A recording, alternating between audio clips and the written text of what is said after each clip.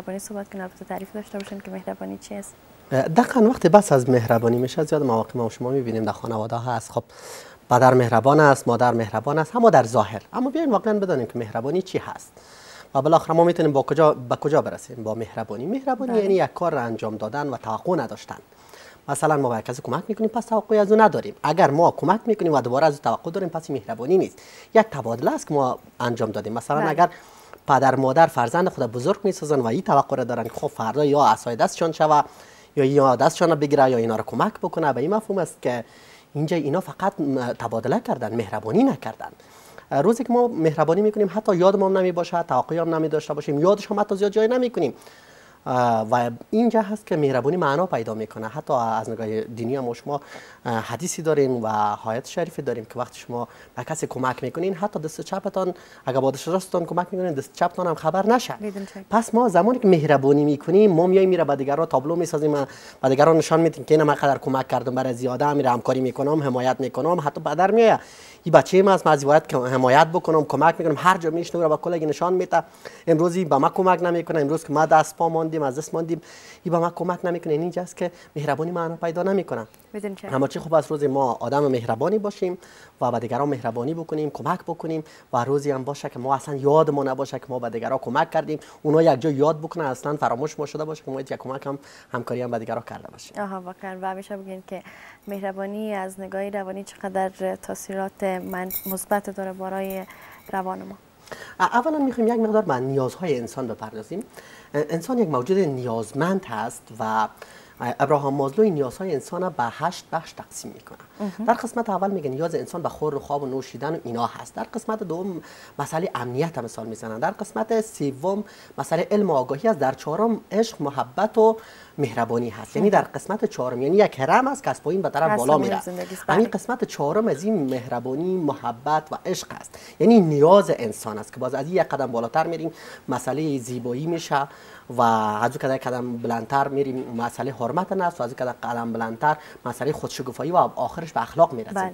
پس این چهارمین نیاز یک انسان است روزی که ما آدم مهربانی نیستیم پس ما میریم به سمت سوی که نباید بریم یا ما میریم به سمت سوی زشتیت پس اون زمان است ما مهربان نمی باشیم اما وقتی نگاه می‌کنیم به خود خانواده ها و وقتی بزرگ میشن فرزندایشان حالا به کجا می‌رسن؟ چی اثر مثبت روی اینا می‌گذاره؟ دقیقا تعدابش اولا خانواده است که همه ما و شما می‌فهمیم. چهار تا مسئله را اگر پدر مادر انجام داده باشن اینجا است که ما یک طفل به نام مهربان بزرگ می‌سازیم و یک جوانی مهر... در جوانی مهربان می باشه و در بزرگسالی مهربانی می‌کنه به دیگران و او زمان است که جامعه جامعه که ما شما زندگی می‌کنیم به قدر بدبختی رسیده. دلیلش است که این آدما مهربان نیستند. آدم می‌کشن به خاطر از که فقط منافع خود در نظر بگیرن بله. چرا این آدم کشتی؟ ولی این آدم نزدیک ما آمده بود فکر کردیم شاید انتحاری باشه.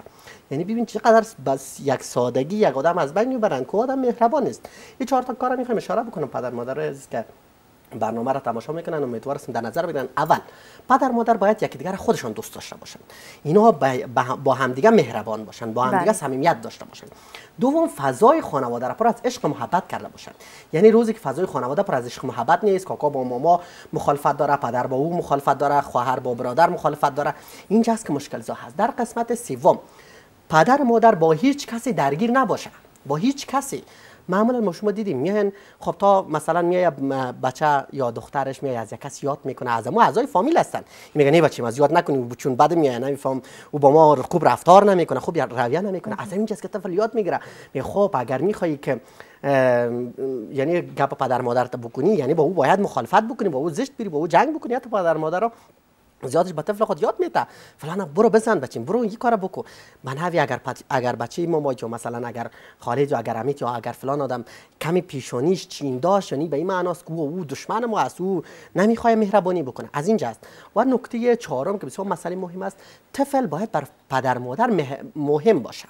بله. یعنی روزی که پدر مادر طفل دوست ندارن و برشان مهم نیست اینجاست که مهربانیش آسیب زدن. واقعا. و حالا میشه بگین آقای فرزایی که یک شخص مهربان دقیقا دارای کدام خصوصیات است؟ دقیقا اولا یک شخص مهربان بر خودش مهربان است. با خودش مهربان است. یعنی خودش به نوی دوست داره. روزی که من خود دوست ندارم پس من مهربان نمی‌تونم باشم. دوم دیگرها رو دوست دارم. حتی فضای بیرون دوست دارم. حتی حیوانات دوست دارم. ببین با دیگران مهربانی می‌کنم. با الفاظ بسیار خوش برخورد می‌کنم. روزی که ما با دیگران به زشتی برخورد می‌کنم دیگران رو دوست ندارم. دیگران به نحوی بد میآید یا ما یک احساس بسیار بد و منفی در مقابل دیگران دارم. پس اینجا من مهربان نیستم. یک انسان مهربان کسی است که مسئولیت پذیر است. پس او فکر می‌کنه خب ما در جامعه زندگی می‌کنم جامعه به ما کمک کرده ما به تلاش کرده که مرا در اینجا برسانه. پس باید این مسئولیت خود خوبتر ادا بکنیم. یا در دفتری کار می‌کنیم یا مثلا پدر هستم یا مادر هستم یا برادر هستم یا خواهر هستم. هر آن کسی باشه مسئولیت های خاص خود داریم. پس این مسئولیت های خود راحت میپذیره. و او زمان است که آدم مهربان است خوش کلام است. وقتی با دیگر صحبت می‌کنه دیگر از از حرفش لذت می‌بره خوشش میاد چی آدمی خندان است همیشه خوشحال است. همیشه از محبت از عشق و از از خوبی ها حرف می‌زنه از منفی ها حرف نمی‌زنه. اما یک آدم زشت یک آدم بدبخت همیشه میاد نکات منفی دیگرها را برای خوشان میکشونه از حسادت ها حرف می‌زنه از رقابت ها حرف می‌زنه.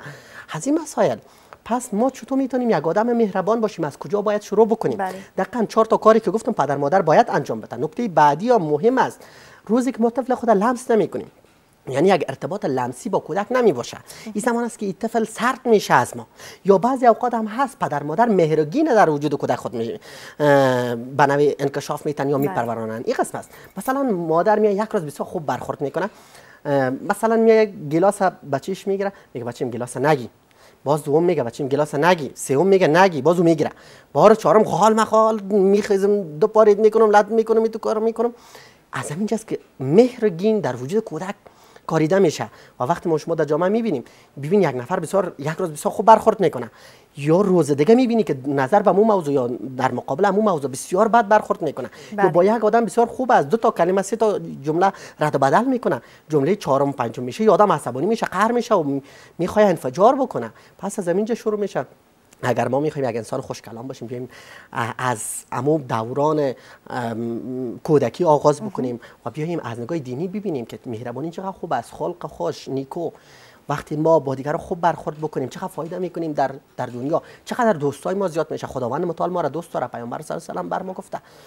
وقتی با دیگرا در مقابل دیگرا لبخند می‌زنی اون لبخند خودش یک ثواب شمرده میشه. پس از همینجا شروع بکنیم ما یک انسان مهربان باشیم. حتی با حیوانات حتی با وسایل. ببین بعض جایا ما شما دیدیم میان یک جای کار می‌کنن می‌گیرن میده می‌کنن وسایل. چرا؟ از من خو نیست. حتی می‌خوای با او امو امو امو حسادت خود امو رقابت خود امو انرژی منفی خود می‌خوای اونجا ابراز بکنه. پس ما یک آدم مهربان باشیم تا دیگران هم ما را دوست داشته باشه خودمان به خودمون کاری کرده باشیم خداوند متعال ما را دوست داشته باشه. و در جامعه در جامعه هم یک انسان خوبی محسوب شویم که بالاخره بتانیم بهترین نتایج به دست بیاریم. واقعا. و حالا میشه در رابطه با این صحبت کنیم.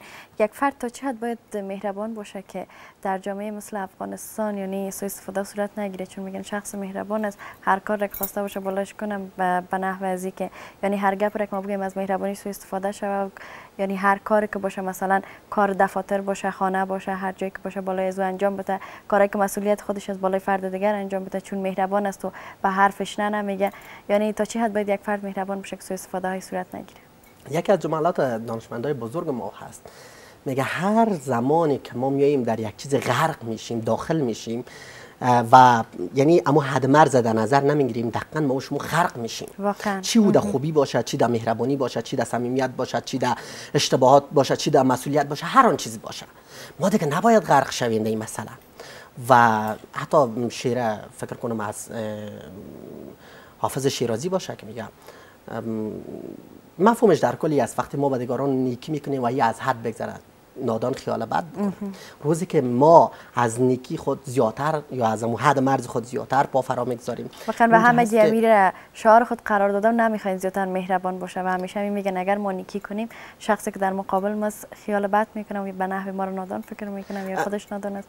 مهربانی ها کمتر شده میره و کم رنگتر بله بله. مسئله ای است که وقتی مهربانی بیش از حد میشه اونجا مشکل زا هست. ببینین بیاین هر چیز مثال بزنیم. در, از نگاه دینی هم بر ما گفتن و ارائه شده. که شما افراد نکنیم افراد نکنیم در هر چیز میانه رو باشین. روزی که ما میایم در یک چیز افراد می‌کنیم اونجا ما مسئله رو خراب کردیم. اما بعضی اوقات که ما میایم خب ایرا به نوع یک بهانه می‌سازیم که من نمی‌خوایم نیکی بکنیم با دیگران چون دیگران سو استفاده می‌کنه. اینجاست که ما با مشکل مواجه هستیم. پس ما نیکی می‌کنیم ما دیگران رو دوست داریم ما صمیمیت داریم همه چیز داریم. اما به اندازه و بجا روزی که بی بیجا باشه و به اندازه باشه ما به مشکل مواجه میشیم. پس خوب است ما اندازش در نظر بگیریم شخص در نظر بگیریم مکان در نظر بگیریم. اما بدور از تعصب بدور از نژاد بدور از زبان بدور از همه تعصباتی که ما شما می‌تونیم اون را داشته باشیم. بیایم مهربان باشیم حتی با دشمن خود. مهربان باشیم حتی با حیوانات. مهربان باشیم حتی با چیزایی که از ما نیست. پس اونجا است که مهربانی معنا پیدا می‌کنه روزی که من مثلا با فرزند یک کسی مهربان هستم روزی که پدر مادرش پیشوی من هست مهربان هستم. روزی که نیست پس ما مهربان نبودیم. ما دروغ گفتیم. ما اینجا آمدیم فریبکاری کردیم. پس خوب است که ما اگر می‌خوایم مهربان باشیم در همه جا ولو که هیچ کس نباشه همه خداوند متعال که هست. اینجاست که مهربانی معنا پیدا می‌کنه. آها واقعا. و حالا میشه بگین اگر ما مهربان نباشیم همیشه یک شخص عقده‌ای باشیم و میشه فکر کنیم اگر ما خوبی کنیم و یا مهربانی کنیم شخصی که در مقابل ما هست و استفاده های بیشتر می‌کنه چقدر مشکلات بالای روح روان خود ما بالای اشخاصی که در جامعه است و بخصوص اعضای خانواده وارد می‌کنه دقیقا روزی که ما نامهربان باشیم معلوم دارست که ما را کسی دوست نداره. ما را کسی نمیپذیره در اجتماع. ما به جایی می‌رسیم که نباید برسیم. ببینید ما دو تا کلمه را می‌خوایم واضح بسازم که عزیزا بفهمند که مهربانی چی از مهرطلبی چی است. بعضی از عزیزا هست مثلا اینا مهرطلب هستن.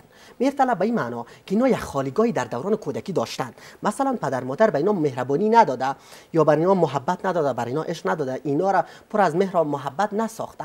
امروز اینا خالی هستن. و می‌خواین با اساس این خالی بودن خود برن به سمت دیگرها و اونها را می‌خواین مجذوب خودشان بسازن تا این خالیگاه خود پر بکنن. این زمان است که اینا توقع دارن. این زمان است که اینا می‌خواین یک کاری بکنن برای دیگرا که دیگرا بیاین به نوی بر اینا محبت بکنن بر اینا توجه بکنن اینا را تشویق بکنن اینا را ترغیب بکنن. بله. در حالی که اینا از درون خالی هستن. حتی مو مهر محبت دیگه این خالی بودن اینا را پر کرده نمی‌تونن.